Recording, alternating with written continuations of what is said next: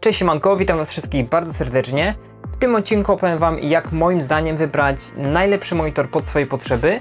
W moim przypadku będzie to pokazane na przykładzie profesjonalnego monitora do grafiki komputerowej firmy Benku.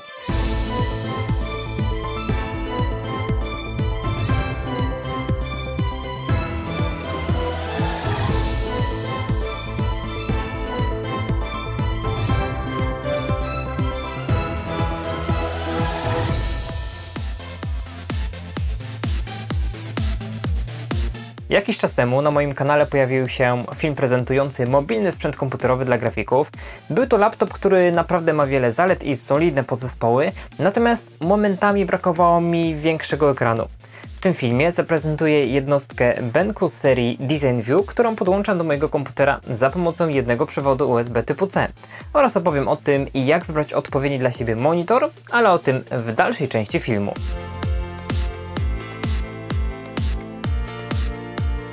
Najpierw musimy się zastanowić, jak będziemy korzystać z monitora. Wtedy będziemy na dobrej drodze do znalezienia idealnego dla siebie.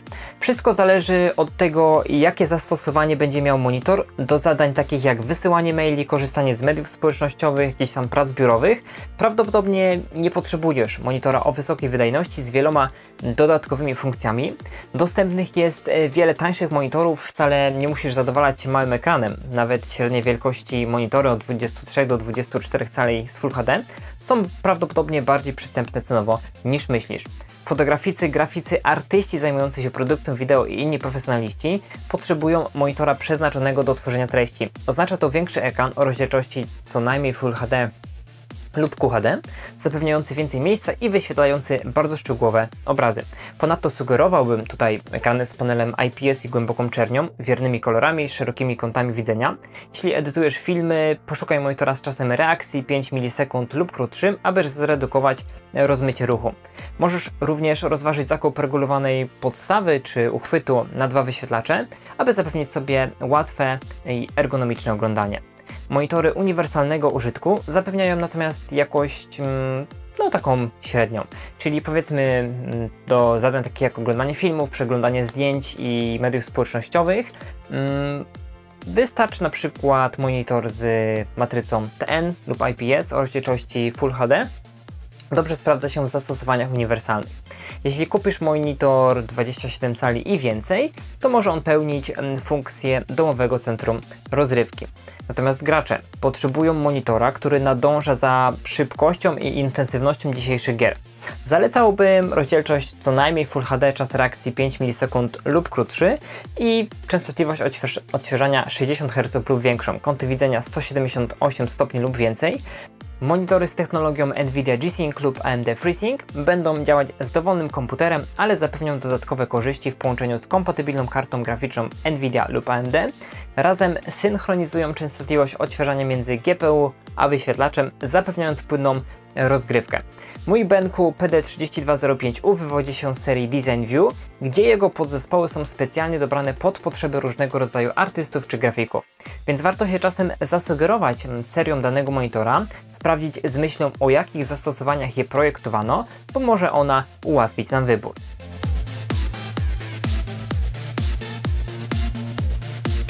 Na jaką matrycę się zdecydować wybierając monitor dla siebie? Znów wszystko zależy od tego, jak będziemy z niego korzystać.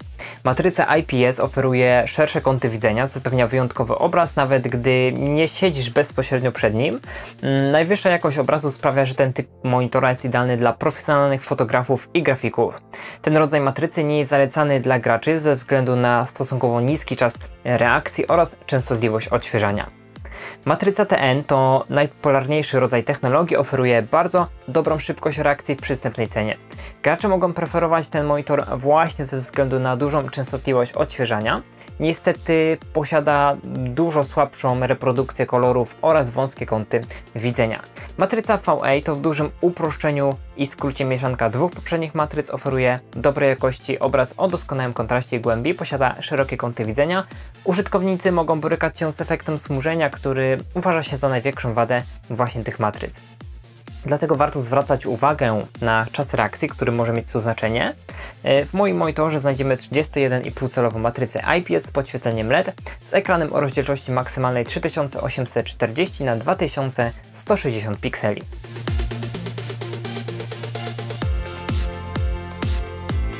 Podobnie jak w telewizorach, rozmiar ekranu mierzony jest e, po przekątnej. E, wraz ze wzrostem rozmiaru ekranu oczywiście rośnie też cena produktu, więc zastanów się dobrze, ile masz miejsca, ile chcesz wydać pieniędzy na zakup. Mniej niż 20 cali to na pewno przystępna cenowa opcja, którą można łatwo przynosić lub przesuwać. Monitory te zapewniają dobrą wydajność raczej tylko i wyłącznie przy okazjonalnym i podstawowym użytkowaniu.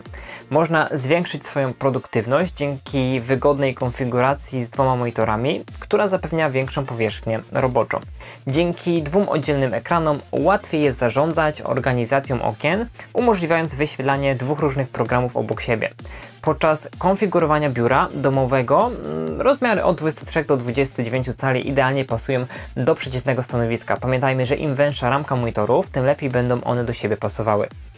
Jeśli szukamy czegoś wielofunkcyjnego do użytku domowego i biurowego, oglądania filmów i grania w gry, to dobrym wyborem będzie ekran o przekątnej od 21 do 26 cali. Natomiast jeśli szukamy czegoś dla poważnych graczy i profesjonalistów zajmujących się fotografią, grafiką czy produkcją wideo, to śmiało możemy zdecydować się na rozmiar od 27 cali wzwyż.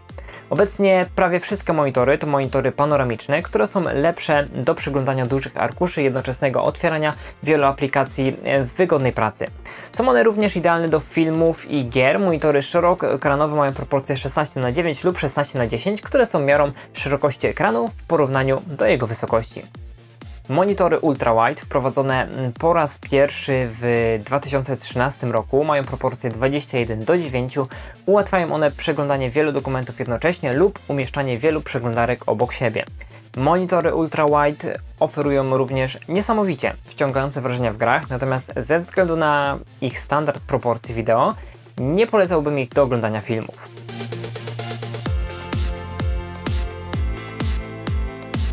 Na jaką rozdzielczość się zdecydować przy wyborze monitora, bo nie jest to to samo co wielkość ekranu, wydawałoby się, że odpowiedź jest prostsza. Im większa rozdzielczość, tym lepiej.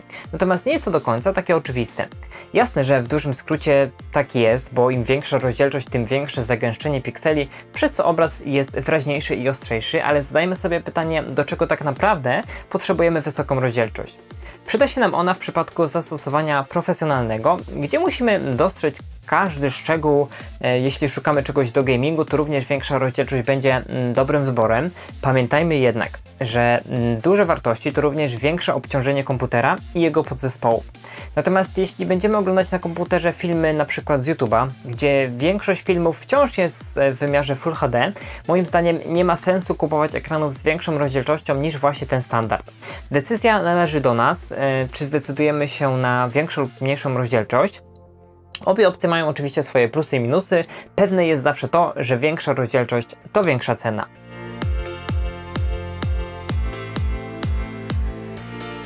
Zawsze przy wyborze odpowiedniego monitora warto zwrócić uwagę na podstawowe specyfikacje i znać mm, chociaż co one znaczą, które mogą decydować o ergonomii korzystania z naszego urządzenia. Ważnym czynnikiem jest poziom jasności. Jeśli monitor będzie używany w nasłonecznionym lub jasno oświetlonym pomieszczeniu, typowy poziom jasności dla monitorów to 250 nitów kandeli na metr kwadratowy. Jeśli jednak planujesz używać monitora w nasłonecznionym pomieszczeniu, poszukaj monitora o jasności 350 nitów lub wyżej. Współczynnik kontrastu jest to różnica między najbliższą bielą ekranu a najgłębszą czernią. Producenci mierzą to na różne sposoby, więc nie jest to za bardzo wiarygodne porównanie między markami. Częstotliwość odświeżania określa ile razy na sekundę komputer odświeża obraz na ekranie. Większość monitorów posiada mm, odświeżanie na poziomie 60 Hz, co oznacza, że nowy obraz jest generowany 60 razy na sekundę. Większe częstotliwości odświeżania zmniejszają rozmycie ruchu, więc im wyższa liczba, tym płynniejszy będzie obraz. W najbardziej prosty sposób można to zauważyć na przykład na, porus na poruszającym się kursorze. Jeśli jesteś graczem, poszukaj na pewno częstotliwości odświeżania mm, przynajmniej 144 Hz lub wyższej. Warto zawsze sprawdzić, jaką maksymalną e, częstotliwość ma nasza karta graficzna. Czas odpowiedzi, mierzony w milisekundach, odnosi się do tego, ile czasu zajmuje pikselowi zmiana koloru lub zasadniczo jak szybko ekran może zmienić swój obraz. Super szybkie czasy reakcji, np. 2 milisekundy lub mniej, redukują efekt zjawy, czyli taki niewyraźny ślad pozostawiony na ekranie z poprzedniego obrazu i rozmycie w szybko zmieniających się scenach. Kąty widzenia w poziomie i w pionie wskazują jak daleko od monitora można patrzeć na ekran, mm, zanim jakoś jakby się pogorszy. Jeśli planujesz oglądać zdjęcia lub grać w jakieś gry z większą liczbą ludzi lub po prostu często będziesz oglądać ekran z boku, wybierz monitor o kącie widzenia 178 stopni lub wyższym. Pamiętajmy, że wysokie kąty widzenia to zaleta matryc IPS. Niektóre monitory oferują funkcję redukcji szkodliwego niebieskiego zakresu widma światła, która pozwala uzyskać bardziej relaksujący i mniej stymulujący obraz dla naszych oczu. Prezentowanym monitorze znajdziemy technologię Flicker Free, eliminującą migotanie obrazu oraz low blue light, zmniejszającą ilość szkodliwego dla oczu niebieskiego światła. Wszystko to w ramach pakietu iCare.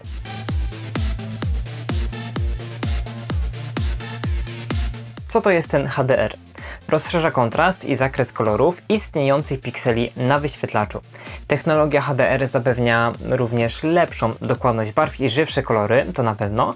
Monitory z tą funkcją zapewniają bardziej naturalne wrażenia podczas wyświetlania, idealny do filmów i gier oraz tworzenia zdjęć filmów. AccuColor, mm, opracowana przez BenQ technologia produkcji AccuColor opiera się na dokładnym odwzorowaniu barw na ekranach.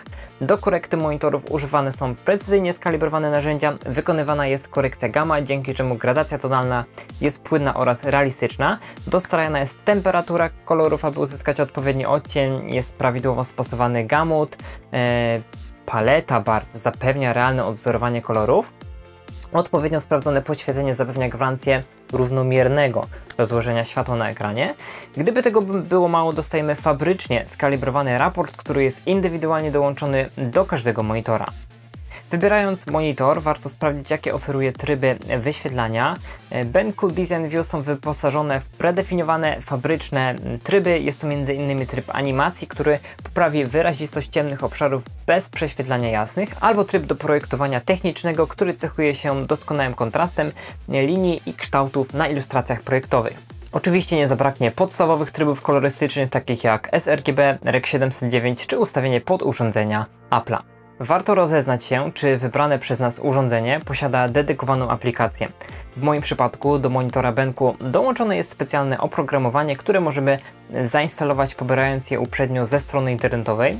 Pozwoli ono nam na wybór interesującego nas trybu wyświetlania, zdefiniowania własnego trybu lub też wyświetlenie dwóch trybów w formie podzielenia na części. Oprócz tego znajdziemy funkcję obrotu obrazu, np. do funkcji pivot lub wybranie wejścia źródłowego. Ciekawą opcją jest możliwość włączenia funkcji Picture in Picture lub Picture by Picture bezpośrednio w aplikacji. Dzięki temu możemy wyświetlić obraz z kilku urządzeń na jednym ekranie. Z ciekawszych funkcji warto przyjrzeć się możliwości przypisania indywidualnego trybu wyświetlania kolorów dla dowolnego programu lub też skorzystania z wbudowanego asystenta drukowania, który pokaże nam realną wielkość wydruku na monitorze.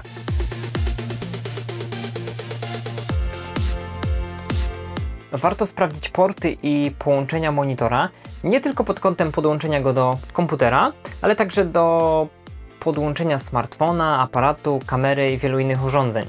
Większość monitorów komputerowych ma złącze HDMI, które zarówno przynosi sygnały audio i wideo, doskonale nadaje się do odtwarzania treści mm, z komputera, konsoli, do gier odtwarzacza Blu-ray i innych urządzeń.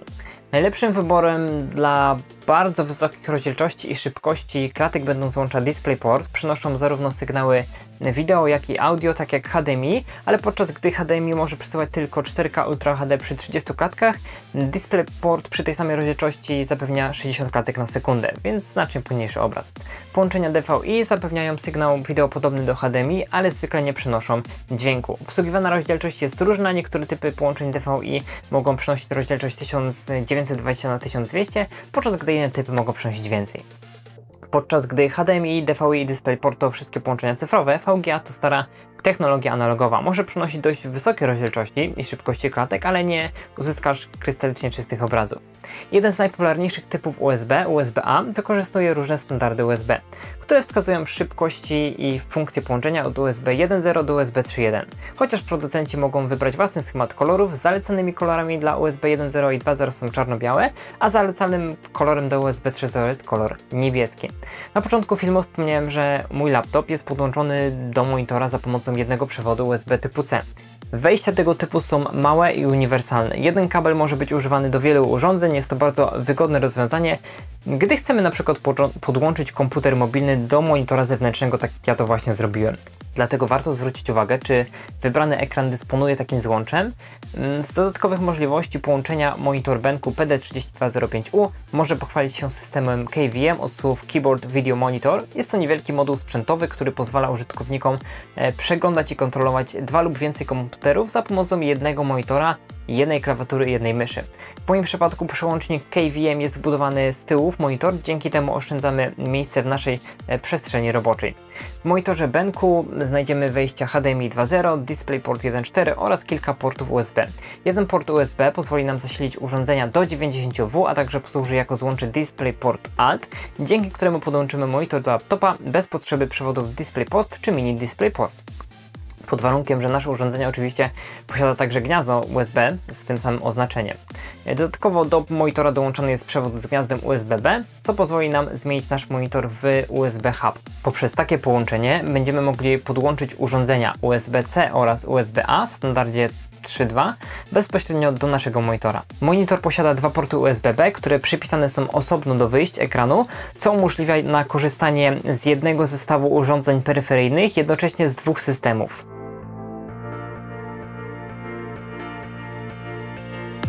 Kilka fajnych funkcji może sprawić, że korzystanie e, z monitora będzie przyjemniejsze. Jeśli planujesz zamontować monitor na ścianie, e, co też w przyszłości mam zamiar zrobić, Poszukaj takiego, który jest zgodny ze standardem VESA. Oznacza to, że monitor ma z tyłu standardowy wzór otworów lub wzór mocowania. Porównaj wagę i wzór VESA monitora z wagą i wzorem VESA obsługiwanym przez uchwyt, aby upewnić się, że są one kompatybilne.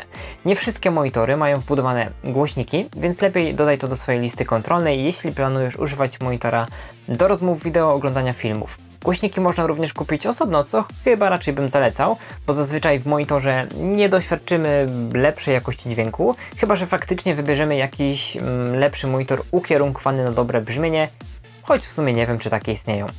Szukaj monitorów i stojaków z regulowanymi funkcjami, takimi jak funkcja pochylania, obracania, regulacja wysokości monitora i regulacja w pionie, które umożliwiają obracanie monitora do pozycji pionowej, czyli tzw. Tak pivot, który jest fajną propozycją dla programistów lub specjalistów od social mediów.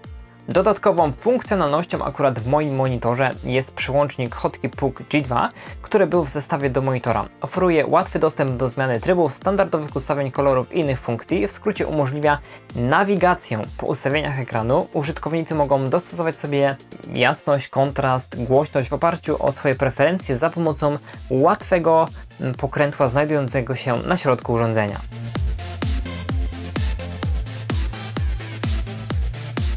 Podsumowując, wybierając odpowiedni monitor dla siebie, warto nie tylko spojrzeć na jego cenę lub wygląd, ale też przyjrzeć się bliżej na pewno specyfikacjom. E, nie sugerujmy się tylko rozdzielczością, ale dowiedzmy się więcej o parametrach, które pozwolą nam na korzystanie z ekranu z naszymi oczekiwaniami. Dziękuję, że dotrwaliście do końca tego dosyć szczegółowego poradnika zakupowego i zapraszam do zapoznania się z resztą moich filmów.